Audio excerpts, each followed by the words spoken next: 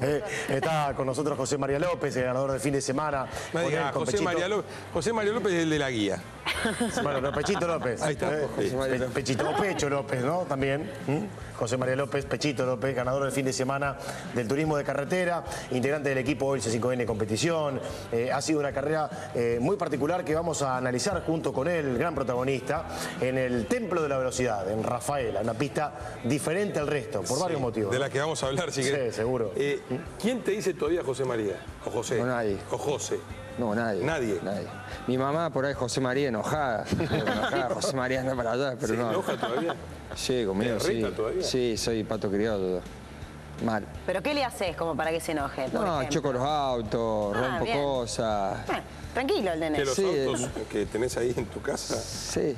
No, ah, en las carreras. No, no, no, en las carreras también, pero.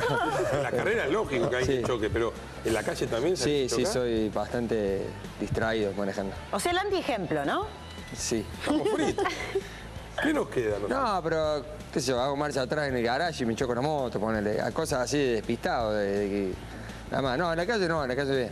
En la calle va bien. Sí, sí. Cuando llegas a un cruce, si vas por la derecha, vas vos, y no vas por la derecha, dejas pasar. No, el de, derecha tiene prioridad. Tiene prioridad el de la derecha y dejas pasar. Sí, sí, Sí, sí. siempre.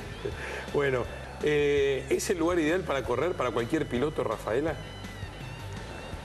Bueno, eh, es, es- es lindo, ese es, digamos, el, el lugar donde más rápido vas y donde más respeto tenés que tener al circuito.